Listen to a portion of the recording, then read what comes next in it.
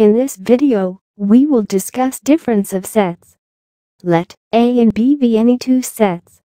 The difference of the sets A and B in this order is the set of elements which belong to A but not to B.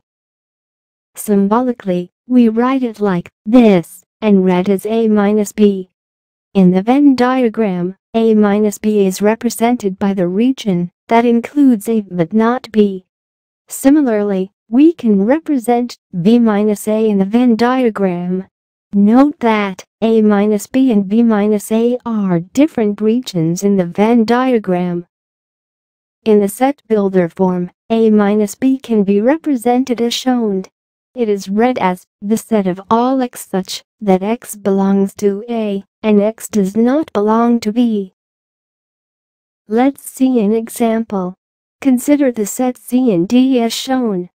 The C minus D includes the elements 1 and 2, since both the elements belong to C but not D. Similarly, D minus E includes the elements 4 and 5.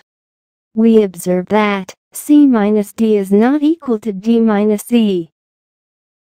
Also, note that the sets A minus B, A intersection B, and B minus A are mutually disjoint sets. That is, the intersection of any of these two sets is the null set.